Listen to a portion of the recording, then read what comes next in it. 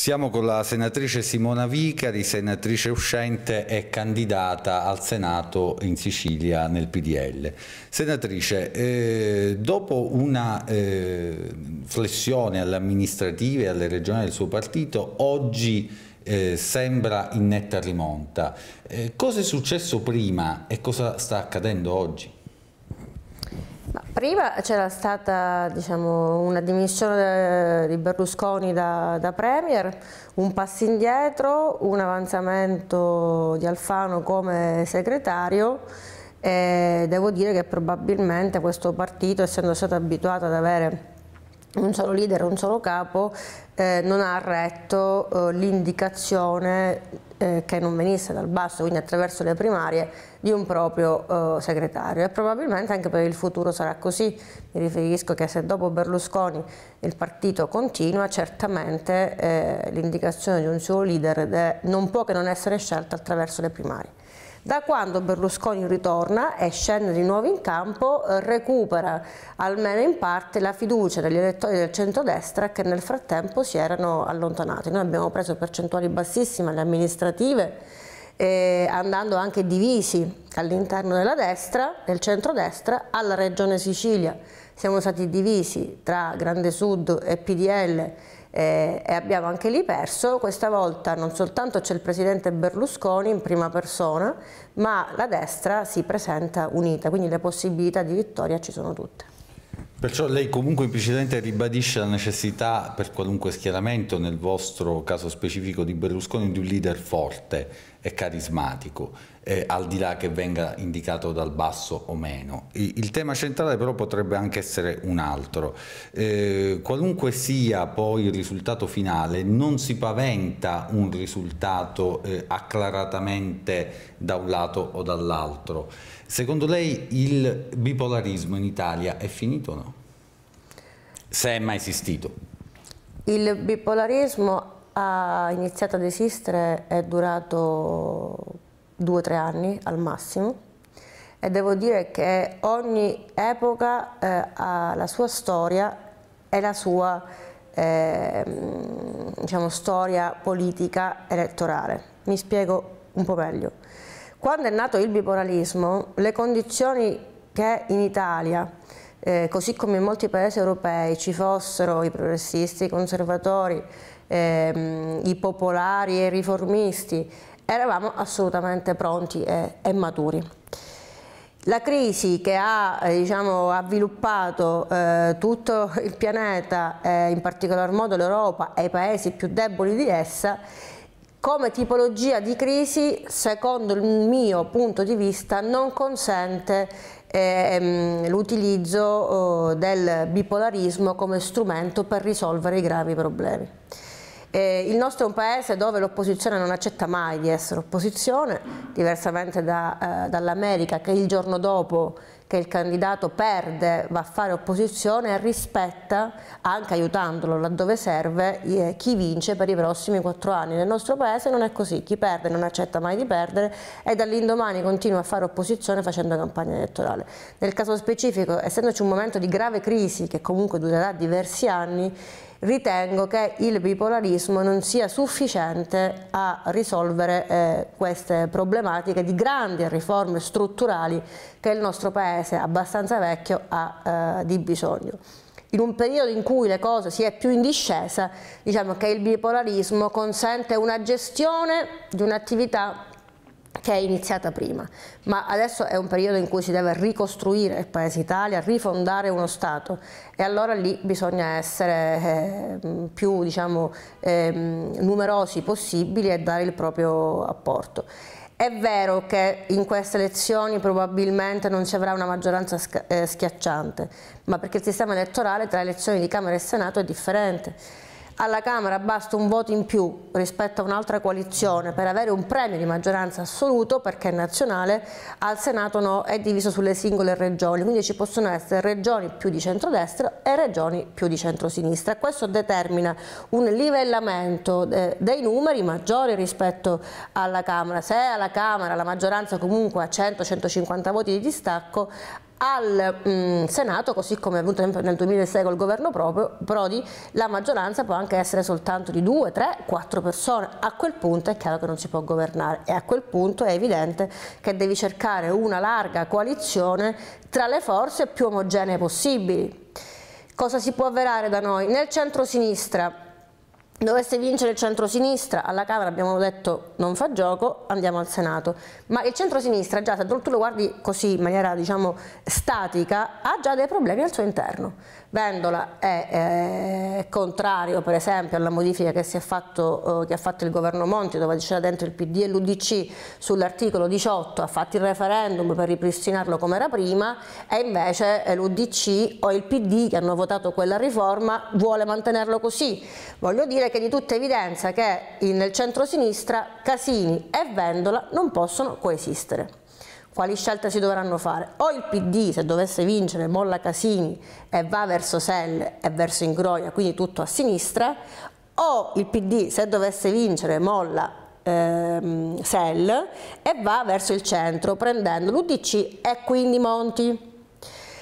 Se invece dovesse vincere il centrodestra, eh, alla Camera vale lo stesso principio, al Senato la, mh, mm, il dialogo con le forze di centro, cioè il centrodestra rispetto al centrosinistra, ha una uniformità ideologica e di pensiero tra i suoi componenti assoluta non abbiamo noi diversità come le può avere eh, il PD da, eh, da Selle, da Vendola che vuole allearsi con, con, con Casini. Da noi c'è un'omogeneità maggiore. A quel punto probabilmente se ci fosse una maggioranza risicata e dovendo fare delle grandi riforme ti rivolgi ai partiti di, eh, di centro.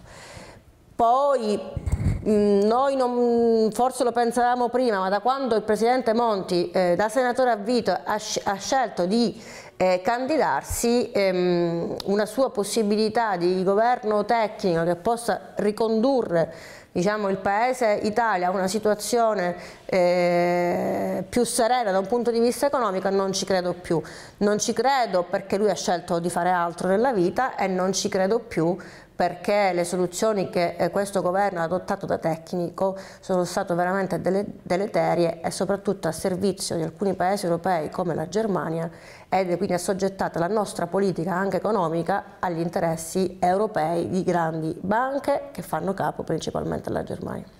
È chiaro che l'argomento ha una sua complessità, però volendo eh, cavalcare la sua filologia dialettica, eh, tempi che cambiano, politica che cambia, lei qual è il suo giudizio su fenomeni partecipativi come eh, Grillo, come Ingroia? È antipolitica o è nuova partecipazione democratica? Allora, Grillo è una cosa differente da Ingroia perché mm, Grillo eh, raccoglie dentro di sé eh, persone che eh, esperienza politica eh, non ne hanno, puoi trovare un professionista ma puoi trovare anche un semplice ragazzo che sta a casa, comunque persone accomunate e lo dimostra anche dal target di età eh, delle persone che scelgono Grillo, accomunate da un utilizzo eh, abbastanza forte del web e della rete. E io so, eh, come tanti di noi sappiamo, che spesso sulla rete eh, il dialogo, il mondo che si crea, non è che vale soltanto per i ragazzi quando giocano con i videogames, ma anche per gli adulti che quando vanno sulla rete o scrivono determinate eh, cose lo fanno perché hanno un computer davanti, lo fanno perché non hanno il tuo interlocutore davanti, la realtà è un'altra, voglio dire il mondo virtuale che seleziona la classe politica che sta eh, attorno a Grillo è un mondo che non ha radici è un grande mondo, è una grande piattaforma ma che è assolutamente fluttuante, non ha un radicamento né ideologico né eh, legato alla realtà. E quindi a questo tipo di eh, eh, situazioni do una vita abbastanza breve perché sono più delle meteore, ma non c'è dubbio che assorbono un'esigenza di cambiamento da parte, dal punto di vista della società. La loro presenza la vedo assolutamente positiva perché laddove non si hanno degli atteggiamenti demagogici, eh, alcune cose che propongono il movimento di Grillo possono essere condivise, accettate, poi devono essere plasmate nella realtà perché una cosa è dirle, una cosa è farle, una cosa è che appunto è dirle attraverso il web quando sei arrabbiato, una cosa è la vita concreta e, è reale. Non è sufficiente avere questa capacità mh, di sfogo nel web per risolvere realmente i problemi della, della gente. Per quanto riguarda Ingroia è un'altra storia. Per quanto riguarda Ingroia e chi eh, dire, eh, fa politica insieme a lui a livello nazionale sono un po' gli unti del Signore sono un poco eh, i magistrati che ritengono di, alcuni magistrati che ritengono di essere gli unici depositari della verità, della correttezza, dell'antimafia, della trasparenza in questa terra e in maniera molto ma molto scorretta utilizzano e hanno utilizzato il loro ruolo per scendere e fare eh, politica. Ritengo che che se io ho indagato su un territorio e conosco tante situazioni su quella regione, sono assolutamente, lo dice anche la legge, sono assolutamente incompatibile a svolgere un ruolo politico in quel territorio, perché è chiaro che alcune informazioni eh, le, le, posso utilizzare in maniera distorta e la giustizia è un'altra cosa, il vero magistrato è quello che fa il magistrato stando e avendo una vita assolutamente riservata e sopra le parti. Qui si è fatto un uso, un uso politico della eh, magistratura, appunto da, da Ingroia, da De Magistris, con una mh, violenza e un, e un, utilizzo anche della conoscenza di situazioni di alcuni eh, politici o di alcuni partiti politici che vengono fatti fuori o infangati esclusivamente da magistrati eh, politicizzati. Tanti cittadini vorrebbero che invece la giustizia fosse la giustizia rispetto alla politica. Purtroppo la politica è mancata negli ultimi anni e quindi in una logica di compensazione dai tre poteri eh, dello Stato la magistratura è andata un po' più su e la politica è andata un po' più giù. Senatrice, una battuta per chiudere. Se voi, e noi ve lo auguriamo come lo facciamo con tutti, eh, doveste vincere le elezioni, chi sarà il vostro candidato premier? Ma lì eh, sarà eh, diciamo, verificato anche con le altre forze politiche dove si vince e come si vince. Ma il candidato naturale per quello che mi riguarda non c'è dubbio che è, il presidente Berlusconi. E, mh, mm, so che Berlusconi invece si è fatto un passo indietro, eh, ritiene di non doverlo fare, noi abbiamo delle grandissime persone, eh, guarda caso sono anche siciliane, che hanno delle visibilità eh, nazionali così importanti che sono assolutamente pronte. Se io devo guardare soltanto al PDL, non alle altre forze che sono, che sono alleate, io guardo per esempio persone come Alfano, sono assolutamente eh, pronte e, e, utili a guidare il nostro paese, come Maurizio Lupi, come il Presidente Schifani e noi abbiamo in Sicilia, abbiamo espresso il Presidente del Senato che all'unisono ha svolto il ruolo in maniera eccellente e super partes e ritengo che anche la fiducia di gradimento nel nostro partito verso lui e verso questi soggetti sia abbastanza ampia da poterli lanciare come eh, candidati premier. Una cosa soltanto è importante, che mh, chi eh, va a sedersi e a comprendere di traghettare questa fase lo deve fare esclusivamente con la consapevolezza di cancellare un modo di aver fatto politica e concepire culturalmente questo paese, prendere foglio bianco e riscrivere tutto da capo. Il nostro è un paese vecchio, è un paese obsoleto, è un paese dove si pensa ancora che ehm, le autorizzazioni sono un dovere e non un diritto, e non un diritto. si pensa dove mh, mm,